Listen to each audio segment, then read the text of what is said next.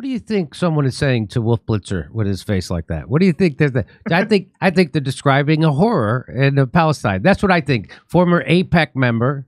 We got to make a sad Wolf Blitzer like meme for this. We when you show the thing, just cut to him like, "Hello, darkness." Look at my his old eyes. friend." What? If, so let's play it. He really looks like a South Park character. He, He- really does. Yes. Round face, no neck, big eyes. He looks like a South Park character. and and I'm so I think the headline of this is going to be how did this make it onto CNN?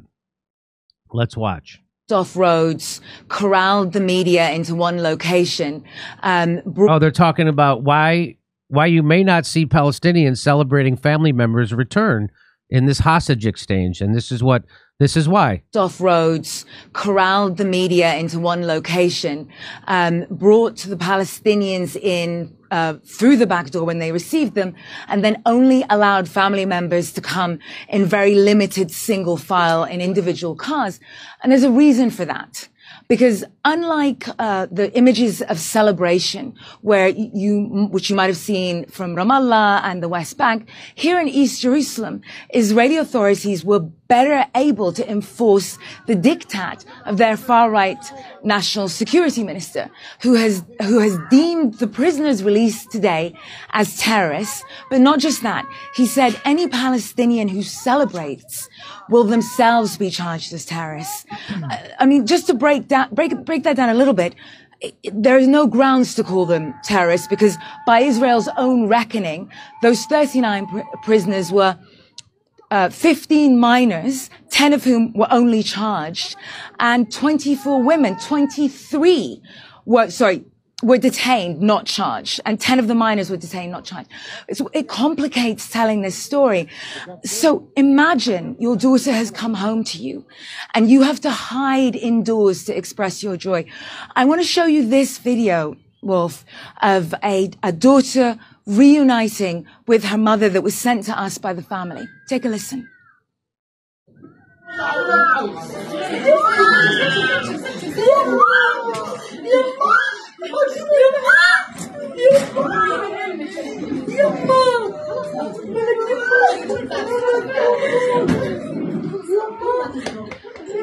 That young lady you see there, the reason, I mean, there's no reason, it's her daughter, but beyond that, uh, she had been arrested at the age of 16, uh, convicted at 17 for 10 years, accused of uh, attempted stabbing. Her family and her lawyer and Israeli and Palestinian rights groups say that this was a miscarriage of justice. Her family had taken this all the way to the Israeli Supreme Court and her mother had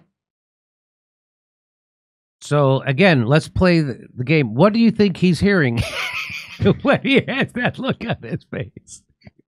Uh, so uh, let me let me go throw it to our resident Jew, Keaton. Keaton, go ahead and respond to that.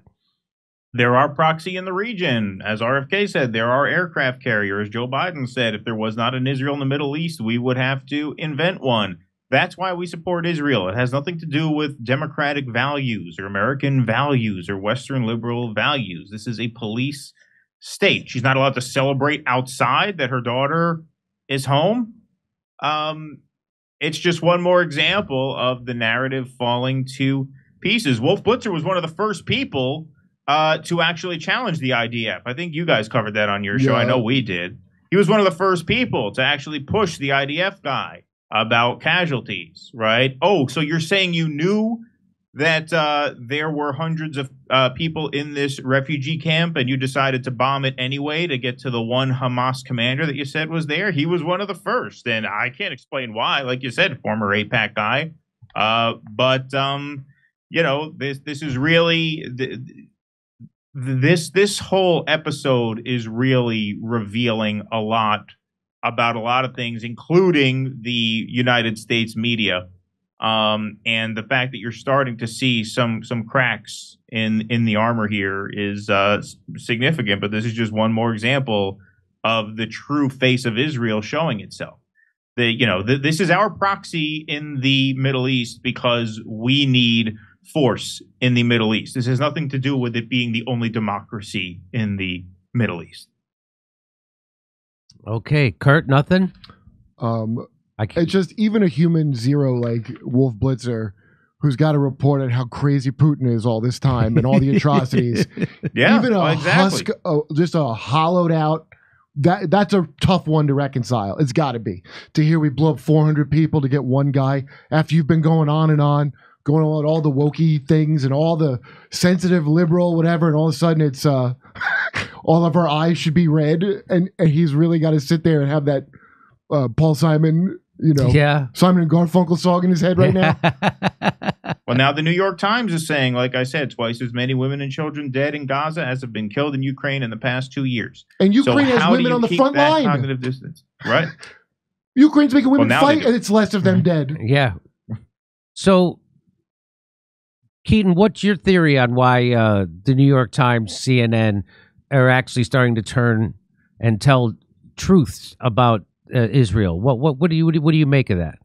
I think the evidence is so in people's faces now that they can't really hide this from the libs anymore. Because don't forget, CNN, New York Times, liberals read this, and it's it's very easy to lie to liberals about ninety nine percent of things. It's easy to lie to liberals about Ukraine. It's easy to lie to liberals about COVID. It's easy to lie to liberals about January sixth. Right?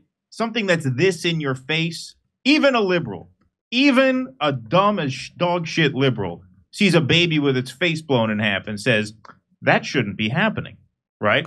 And so I think that's why. I think they realize that their consumers at the end of the day are libs and this information is too visceral and too clear to, to, to spin to even the dumbest media consumers in America, which are Biden voting shit libs.